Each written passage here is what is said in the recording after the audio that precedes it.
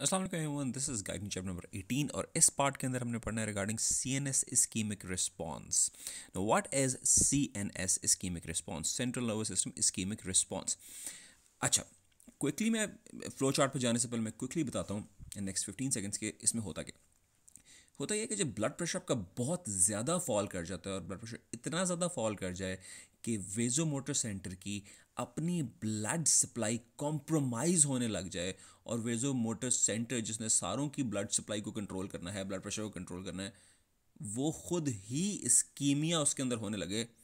तो वेजो motor centre क्या करता है कि वेजो मोटर सेंटर एक बहुत ज़्यादा इंटेंस सिंपथेटिक डिस्चार्ज देता है, ठीक है? और वो सिंपथेटिक डिस्चार्ज जाके ब्लड प्रेशर को बहुत ज़्यादा रेज़ करता है ताकि, और और वो ब्लड प्रेशर रेज होने की वजह से ताकि ब्लड सप्लाई वेजोमोटर सेंटर की दोबारा से बहाल हो जाए।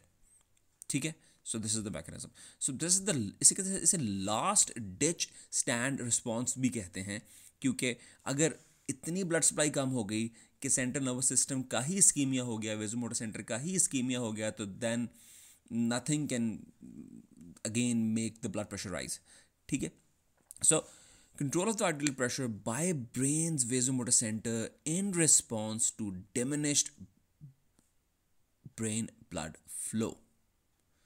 यानी कि जब भी डिमिनिश ब्रेन ब्लड फ्लो होगा या ब्रेन स्कीमिया होगा तो ब्रेन का वो वेजोमोटर सेंटर एक रिस्पॉन्स देगा to control the arterial pressure that is central nervous system ischemic response okay अच्छा ये एक बिल्कुल एक एमरजेंसी रिस्पॉन्स है।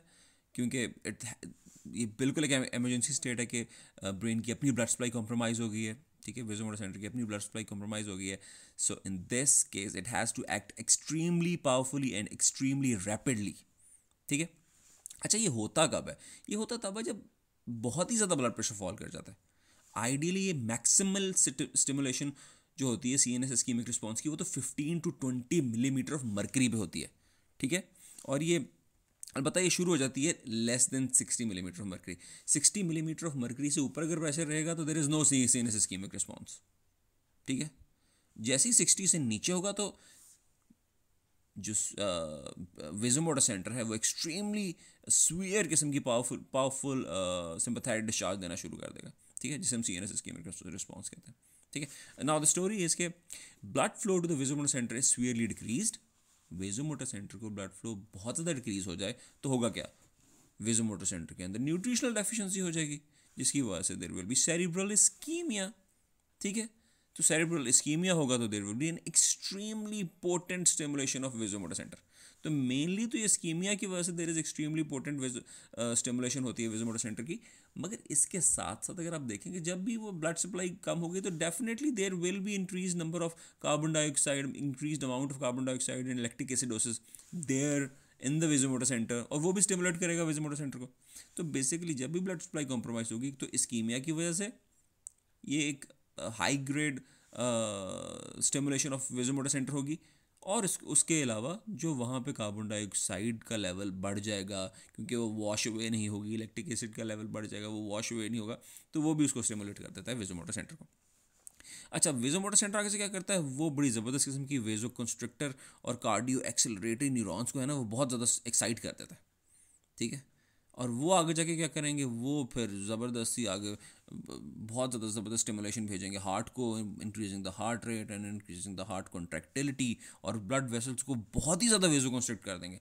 इतना वेजो कंस्ट्रक्ट कर देंगे कि blood pressure can rise up to two fifty millimetre of mercury for as long as ten minutes यानी कि दस मिनट तक blood pressure two fifty millimetre of mercury तक राइज कर जाता है। ठीक है? और हार्ट को इतना ज़्यादा स्टिमुलेट कर जाते हैं कि हार्ट की जितनी भी मैक्सिमम एबिलिटी टू कॉन्ट्रैक्ट है ना उस पर हार्ट कॉन्ट्रैक्ट कर जाता है। क्योंकि इस वक्त अगर हम, अगर हमने इस वक्त ब्लड प्रेशर को बढ़ा के blood supply to C N S nervous system दोबारा सेट ना की तो person is going to die ठीक है? अच्छा और इतनी ज़्यादा इंटेंस सिंपथेटिक वेजो कंस्ट्रक्शन होती है कि अक्सर तो ऑर्गन्स की बिल्कुल ब्लड सप्लाई बंद हो जाती है। और किडनी की ब्लड सप्लाई इतनी कम हो जाती है कि वो यूरिन या ये कह लेंगे किडनी की यूरिन प्रोडक्शन बिल्कुल ही ज़ीरो हो जाती है उस वक्त। इतना ज़्यादा इंटेंस रीनल आर्टीरियोलर कंस्ट्रक्शन हो जाती है। ठीक है? एग्ज़ाम के पॉइंट ऑफ़ व्यू से C N S ischemic response extremely important अच्छा मोस्टली जो आ, इसका सिनेरियो अगर आता है तो सिनेरियो इस किस्म का आता है जी कि एक बंदा है उसका एक्सीडेंट हो गया और वो बहुत ज़्यादा ब्लीड कर गया है और वो ब्लीड करके करके इतना ब्लीड कर गया कि उसका जो मीन आर्टीरियल प्रेशर है वो कोई एग्जांपल दी होगी वो लेस देन सिक्सटी दिया होगा वो forty five millimetre of mercury है। अब बताएँ जी कि इस वक्त कौन सा बॉडी का रिस्पॉन्स है जो कि ब्लड प्रेशर को मेनटेन करेगा?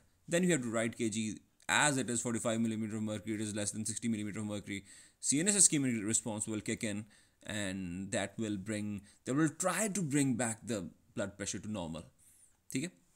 तो आपने इस तरह द पॉइंट है इसके आपने देखना है कि भाई ब्लड प्रेशर कितना दिया हुआ है। तो उस ब्लड प्रेशर के हिसाब से आपने मैकेनिज्म लिखना है। ठीक है?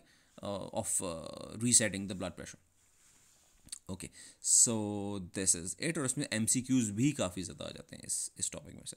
So this is it C S ischemic response see you in next